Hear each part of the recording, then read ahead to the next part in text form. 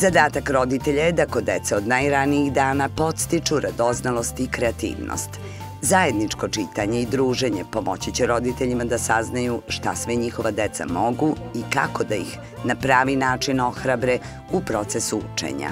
Izdavačka kuća Kreativni centar objavila je ediciju za podsticanje dečijeg razvoja i kreativnosti koja sadrži slikovnice za decu uzrasta od prve do šeste godine.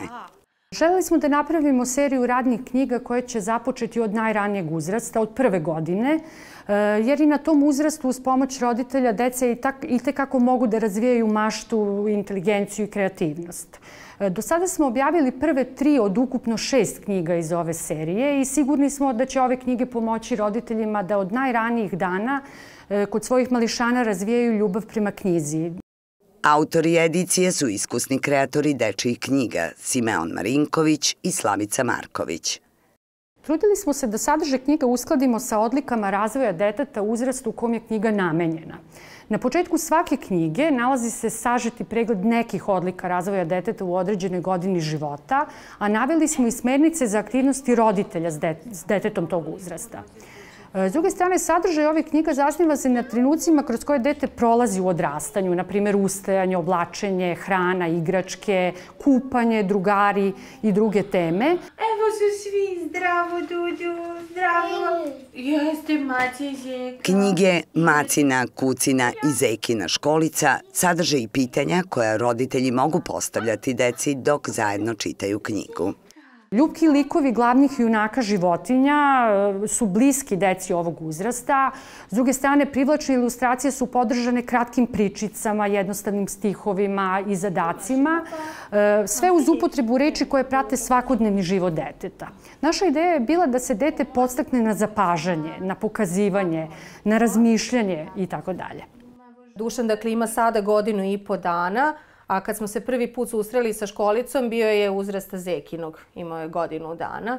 Tačno je odmah prepoznao Zeku kao svog vršnjaka i, i svog adekvatnog drugara, ne samo po izgledu što mu se dopao, ima nešto vizualno u tom Zeki da podsjeća tako na bebu. Zeka od kad se probudi pa pokaže se njegova pidžamica gde Zeka spava, to je tačno dečiji mali krevet, kako Zeka se oblači, gde su Zekini mama i tata, kako doručkuje u stoličici, šta jede, to ono upravo što jede beba, do toga kako Zeka uči da hoda, pa nije sada što mu mama pomaže držeći ga za ruku, nego Zeka padne, bup, to je to je Dušanu bilo najsmešnije kako Zeka ide, ide pa padne, jer to se i njemu upravo u tom uzrastu dešavalo.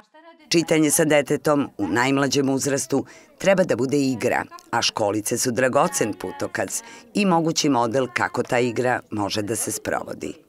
Onima koji se prvi put e, sa prvim detetom susreću sa knjigama, e, ove su knjige idealan vodič kako uopšte dete uvoditi u svet knjiga. Na kraju svake knjige postoji veoma interesantan dodatak koji se eto Dušanu naročito dopada i opet kažem to su igrice od kartona se prave različiti modeli, one opet odgovaraju interesovanima. To je nešto gde se održava taj kontakt sa knjigom i gde se nastavlja igra. Ovakve knjige dragocene su i deci i roditeljima. Deci jer kroz igru usvajaju znanja o svetu koji ih okružuje, a roditeljima pružaju sigurnost da su sadržaji adekvatni i primereni uzrastu deteta.